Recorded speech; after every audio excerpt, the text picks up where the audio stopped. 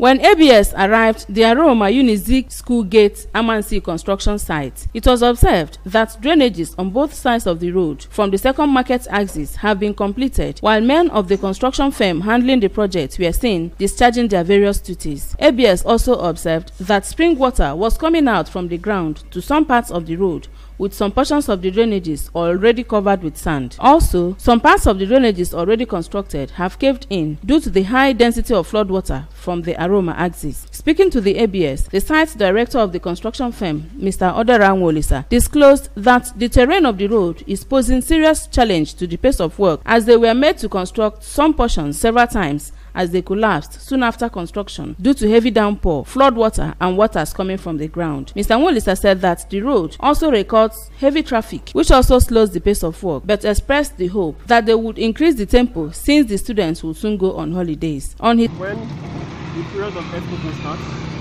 the road will be excavated. Most of the soil will be changed. We will put hardcore inside the soil and stabilize it with sharp sand so that the water doesn't come out again to spoil the road. After that, we apply our stone base.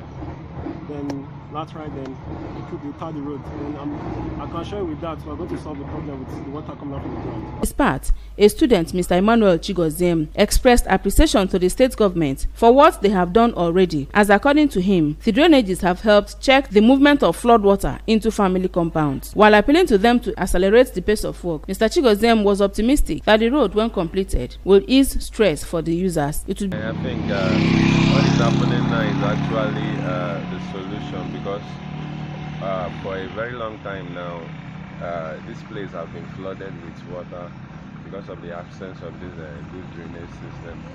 And uh, I, I thank God for what they are doing so far, even though that the work seems to be slow.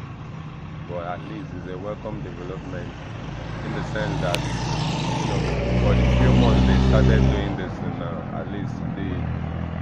it has to an extent limited the amount of rain that enters the street be recalled that Governor Willie Obiano recently inaugurated the construction of the second phase of the road, which will terminate at Ezu River at Amansi. In Oka, I am Ngozi Obileri for ABS News.